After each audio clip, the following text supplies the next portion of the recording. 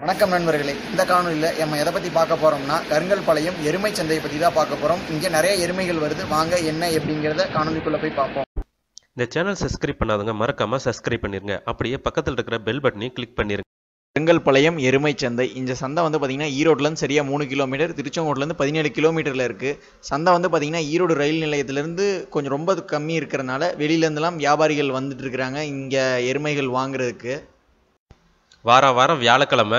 சந்தை வந்து பார்த்தீங்கன்னா சரியாக ஆறு மணிக்கெல்லாம் தொடங்கிடுது சந்தைக்கு வந்து பார்த்தீங்கன்னா சுத்தமான முர்ரா முர்ரா நாட்டு கலப்பு அப்புறம் தமிழக நாட்டிருமைகள் அதிகமாக இங்கே வருது.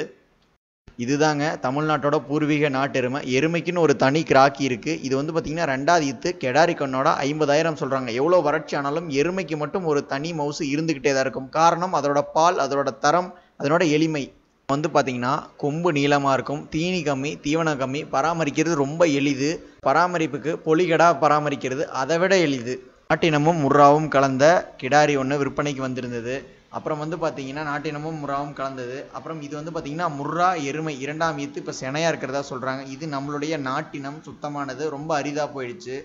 இது வந்து பார்த்தீங்கன்னா முர்ரா இப்போ செனையாக இருக்கிறதா சொல்கிறாங்க மூன்றாவது ஈத்துங்கிறாங்க. இதெல்லாம் வாங்கிட்டோம்னா நல்ல பால் இருக்கும்.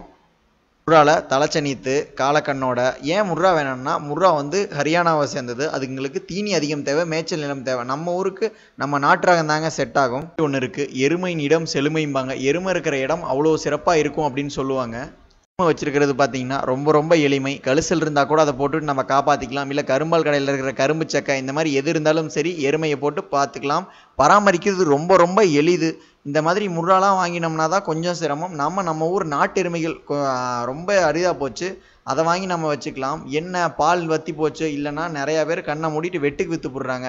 இந்த மாதிரி சுத்தமான முர்ராலாம் வந்து பார்த்திங்கன்னா ஹரியானாவில் அதுங்க வச்சு பாவனையே வேறு. நம்ம ஊரில் வந்து பார்த்திங்கன்னா அதிகமாக கேரளாக்கு வெட்டுக்கு தான் போகுது. இப்போ எருமை பால் வத்தி போயிடுச்சுன்னா கூட அதுங்க போடுற கழுசில் போட்டு போடுற சாணி இருக்குது பார்த்தீங்களா?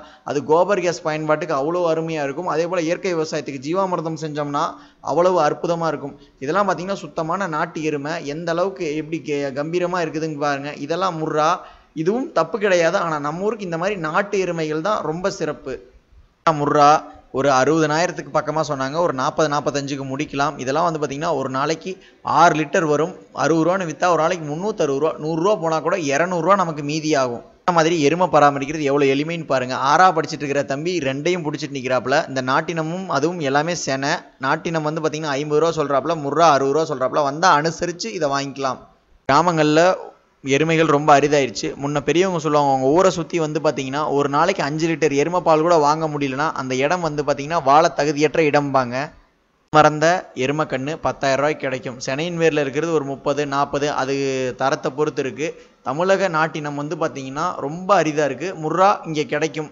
நல்ல தரமான எருமைகள் இந்த சந்தையில் கண்டிப்பாக வாங்கலாம். வாங்கணும்னு நினைக்கிற நண்பர்கள் கண்டிப்பாக சந்தைக்கு வாங்க.